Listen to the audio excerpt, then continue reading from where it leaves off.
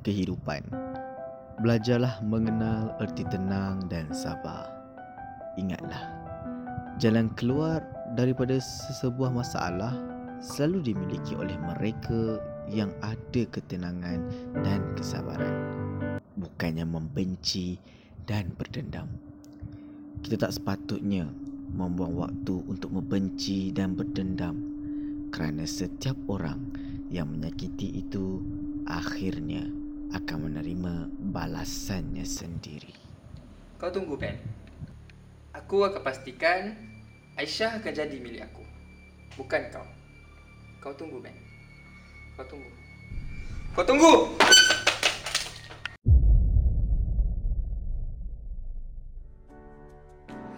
pertengkaran yang terjadi seperti sama salahku. Mengapa selalu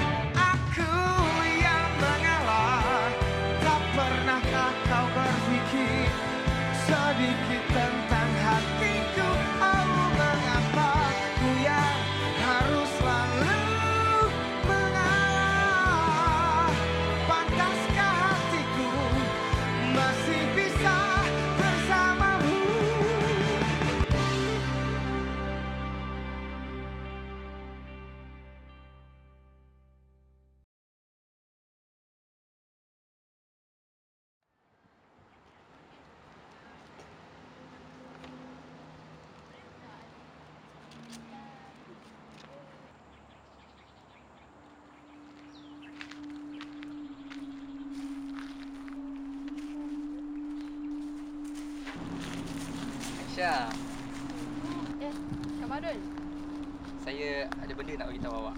uh, apa dia? Sebenarnya Aisyah, saya dah lama tunggu awak. Saya cintakan awak Aisyah. Astaghfirullahalazim. Bawa mengucap Kamarul. Awak sedar tak apa yang awak cakap ni? Tapi Aisyah, saya dah lama perhatikan awak. Saya lama pendam perasaan kat awak. Saya tahu awak dengan Ben tak bahagia. Jadi, apa kata awak tinggalkan Ben dan hidup dengan saya? Kamarul, tolong terima hakikat. Yang saya dah ada anak. Saya sayang keluarga saya. Sorry. Saya tak boleh terima awak.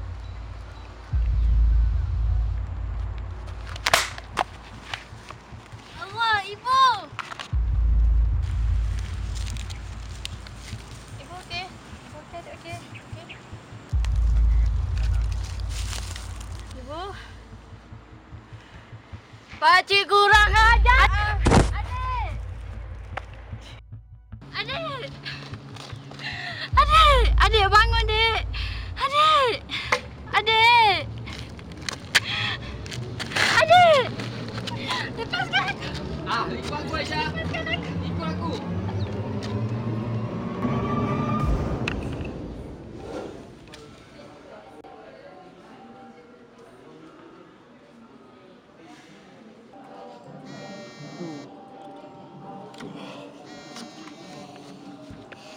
Hello.